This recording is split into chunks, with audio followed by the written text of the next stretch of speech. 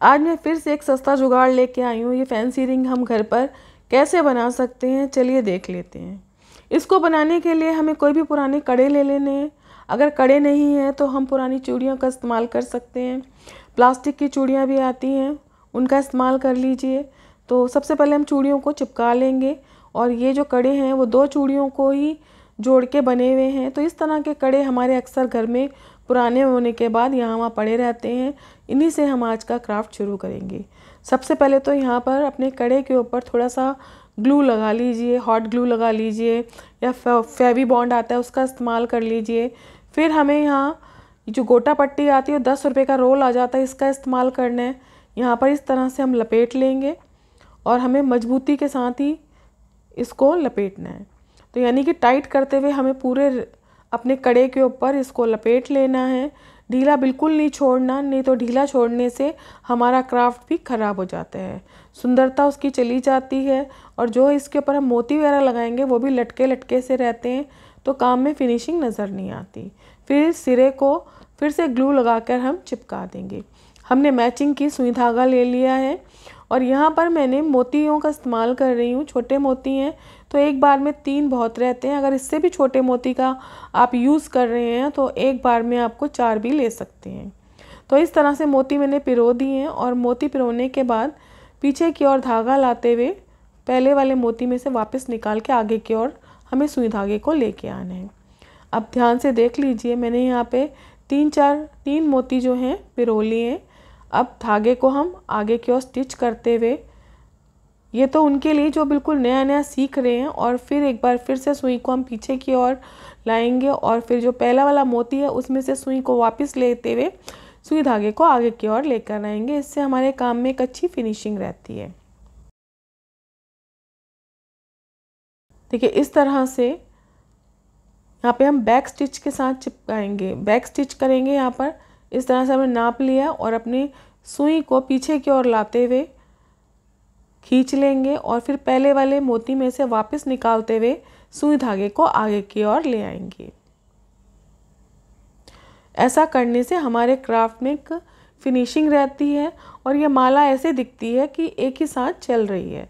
अगर हम आगे की ओर इसको स्टिच करके फिर चार मोती लेंगे और या तीन मोती लेंगे, फिर आगे की ओर स्टिच करेंगे तो आप देखेंगे बिल्कुल भी फिनिशिंग नहीं आएगी और या बीच बीच में से खुला खुला सा नज़र आएगा बिखरा बिखरा सा नज़र आएगा, जो देखने में बिल्कुल भी अच्छा नहीं लगेगा। पूरे रिंग के ऊपर इसी तरह से मोतियों को लगा लेना है। यहाँ पे देखिए बैक स्टिच का इस्तेमाल करें और फिर अपने फ़र्स्ट वाले मोती के अंदर वापस से सुई धागा डालते हुए इसे कंप्लीट कर लें। ये बात मैं बार बता रही हूँ, सिर्फ़ इसलिए कि आप जब भी इस क्राफ्ट को करें तो थोड़ा सा ध्यान दे के करें। ऐसे कई सस्ते जुगाड़ों की मैंने वीडियो बना रखी है। गोटा मोती घर पे कैसे बनाएँ, अंगूर गुच्छा घर पे कैसे बनाएँ, और आप फैंसी मोती कैसे बनाएँ और कई तरीक़ों से हम अपने क्राफ्ट को बना सकते हैं। बेल कैसे बनाएँ? सस्ता जुगाड़ जो है, मैंने कई वीडियो में दिखा रखे हैं और आप ऊपर भी देख रहे हैं।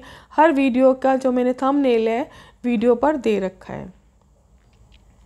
तो आप मेरे सस्ते जुगाड़ की प्लेलिस्ट है, आप उस पर जाएँ और अपने जो भी आप क्राफ्ट वहाँ पे सीखना चाहते हैं, वहाँ से आप देख सकते हैं कि किस तरह से हम कम बजट के अंदर अच्छा सुंदर क्राफ्ट कैसे तैयार कर ले? तो बस इसी तरह से मैं इसको कंप्लीट कर लूँगी।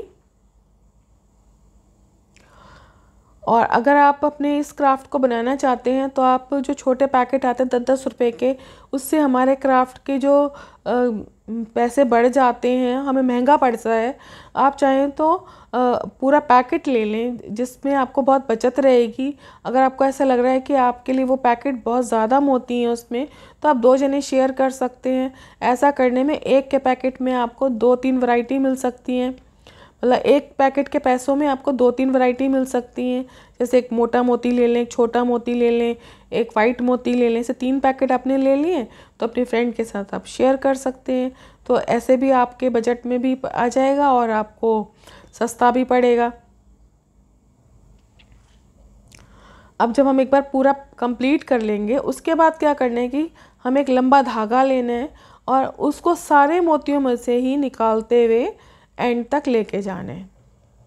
इससे क्या होगा कि अगर हमारा कोई मोती टेढ़ा मेढ़ा लग भी गया है तो एक सिंगल धागे से उस, जब वो पूरे में एक जैसा पिरोया जाएगा तो उसमें एक फिनिशिंग रहेगी। जिस तरह से मैं पिरो रही हूँ। कहीं पर भी आपको लास्ट में स्टिच नहीं करना, बस सीधा मोतियों में से धागे को निकालते हुए एक सिरे से दूसरे सिरे तक लेके जाने। और लास्ट में जाके उसे गोटे के साथ ही स्टिच कर देने। हैं यहाँ पर ये फिनिश हो गया। ये हमारे घर का रिंग और वो है हमारे बाज़ार का रिंग तो बताइए, कौन सा अच्छा लगा? मुझे उम्मीद है कि ये क्राफ्ट आपको बहुत पसंद आया होगा। इस तरह के आप क्राफ्ट मटेरियल को तैयार करके अपने क्राफ्ट में यूज़ कर लेंगे। अगर वीडियो अच्छा लगा है तो लाइक शेयर करना बिल्कुल मत भूलना। चैनल को सब्सक्राइब कर लेना और मिलते हैं नई वीडियो के साथ। अगले क्राफ्ट